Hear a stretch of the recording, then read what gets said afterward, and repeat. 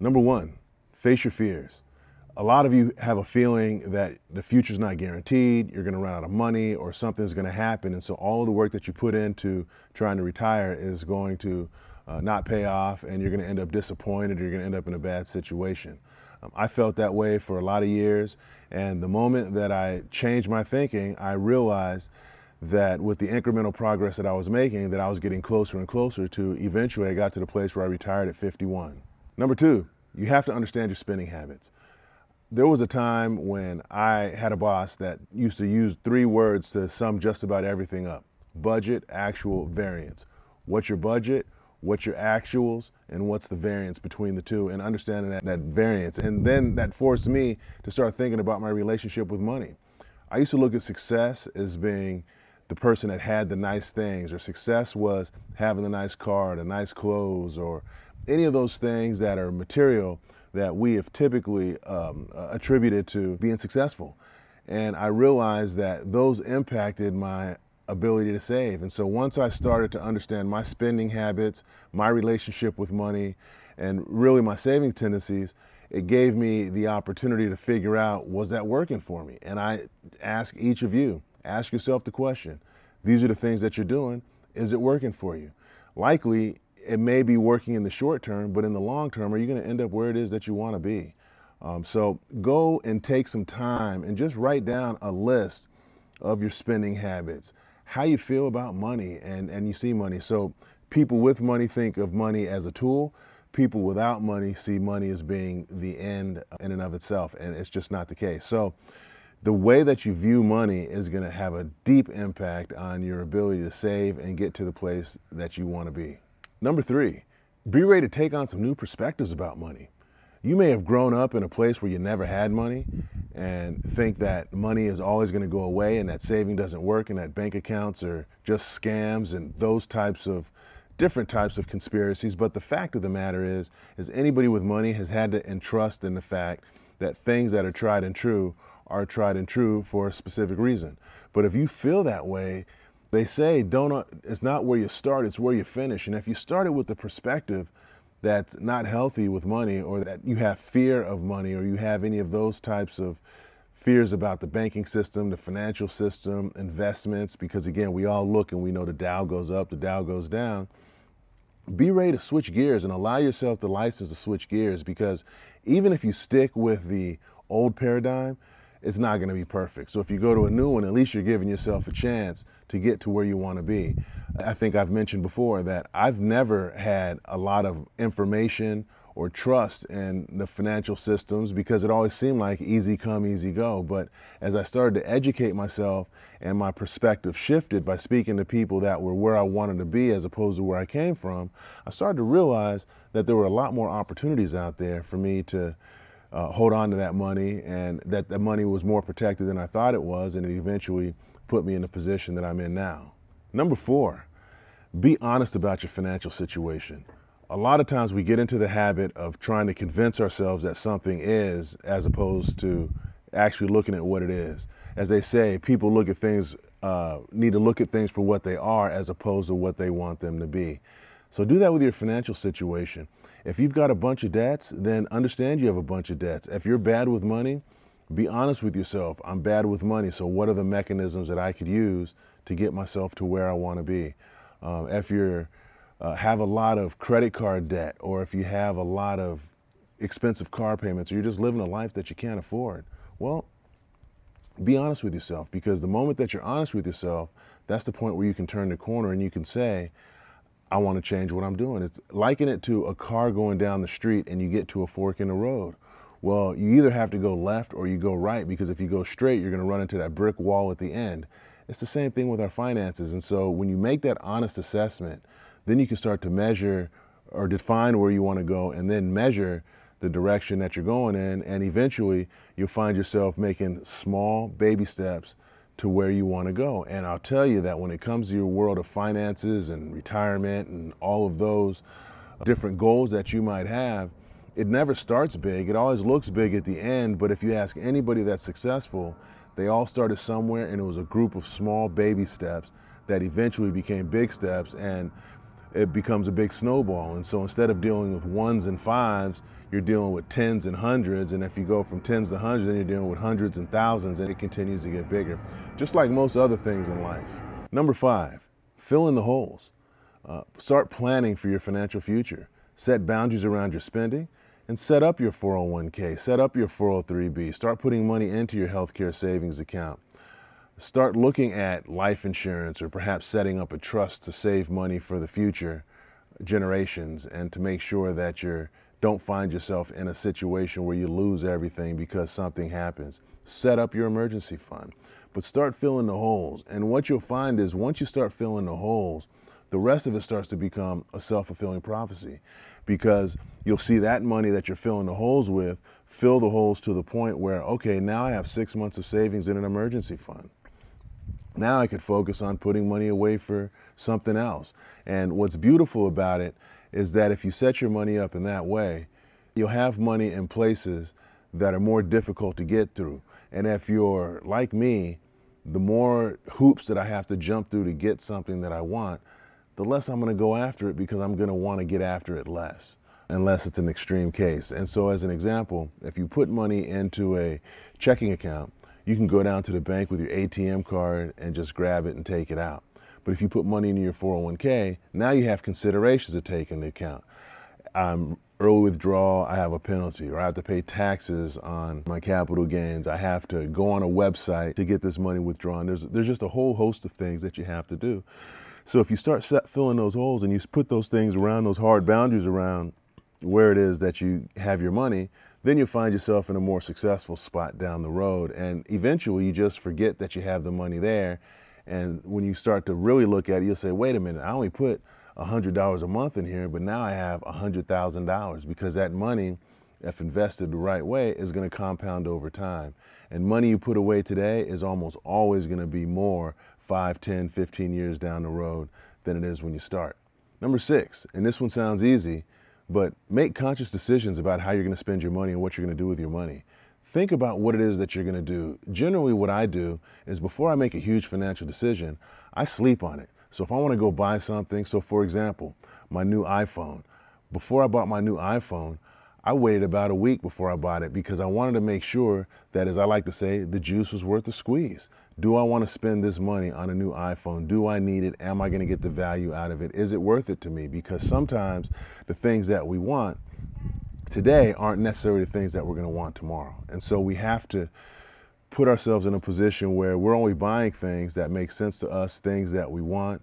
And I, and I also think that it's really important that we focus on purchasing assets, not things.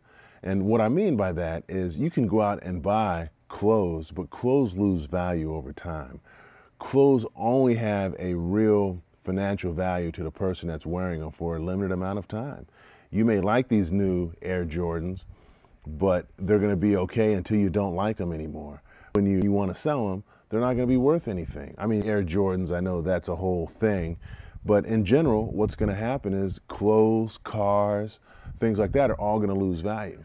But if you go and you buy a house, for example, and you save your money for years and years and years, put some money away, buy yourself a little starter home, maybe not in the best part of town, but something that you can afford, just having a little piece of property. And I know that with the housing crisis, it's not necessarily realistic for everybody, but I think we should all aspire uh, to greatness and whatever greatness means. But you start putting that money away into your uh, accounts for that purpose, and then you buy that thing. Then when you turn around and sell it, generally you're going to be able to sell it for more money. And it's an asset. It's something that is going to appreciate in value over time.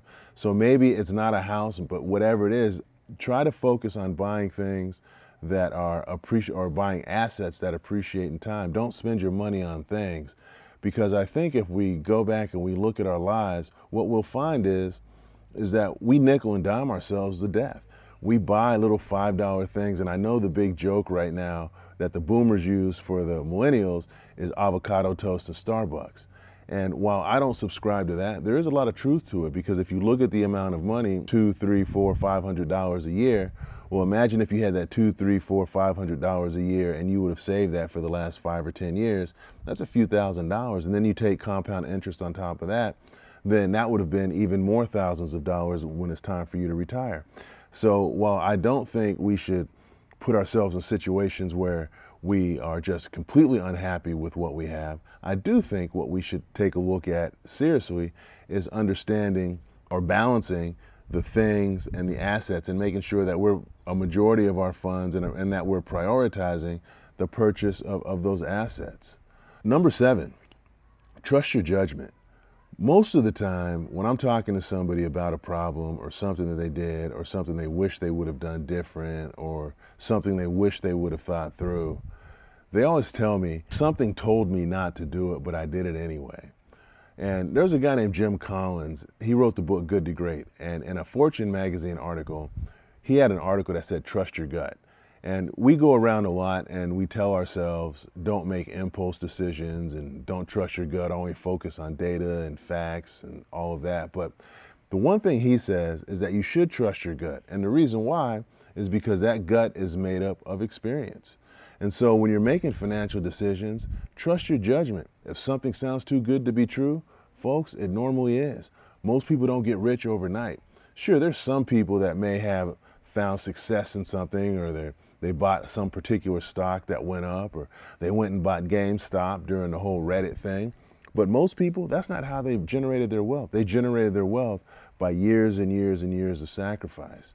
And so the reality is is people that lose a lot generally knew they were screwing up in the beginning. So just trust your judgment and try to make good decisions. And as you make these decisions, stay engaged in the process. Uh, because information changes. I think one of the biggest challenges people have sometimes is they'll get information in the beginning of something, but what they won't do is they won't allow that information to change or their idea to change as the information changes. And so, because you have a set of facts today, that doesn't mean that that set of facts is static. It may be that they're static today, but they're going to be dynamic down the road because guess what? Circumstances change. The way that I'm invested today and the way that I was invested five years ago is different because the circumstances changes. We're in a different place and different time. So allow yourself that, but trust your judgment because I think you'll know a lot more than you think you do. Number eight, be open to opportunities that move you forward. Uh, there's a lot of times we get stuck. As people, as human beings, we're creatures of habit. And so things that have always worked, we tend to stick with, even when they start to not work. It's almost like when you play a slot machine. There's people that'll play a slot machine and they'll win, they'll have a hot machine. Well, a hot machine always goes cold, but some people will stay on that same machine thinking, well, no, it's going to be hot, and it's going to continue to be hot because it's not going to change. But the reality is things are changing. So you have to understand that you have to be able to, as I mentioned in the last point, to take in new information and be open to those opportunities. Now, I'm not saying don't do your research and don't try to understand the opportunity that's being presented. And I'm not saying every opportunity is a good opportunity. But I'll tell you a funny story. When I was uh, about 26 years old, I had a friend of mine who came to me and said, I need $10,000 or give me $10,000 because I want to use it to invest in this company. And I didn't know anything about investing. I didn't trust the markets. I saw the Dow Jones going up and down. I saw people talking about all the money they lost, yada, yada, yada. And it turns out that this company that he wanted me to invest in was the first company to commercialize the GPS technology. And so, had I been open to that opportunity, then I would have put $10,000 towards this company and I would have been a multi billionaire.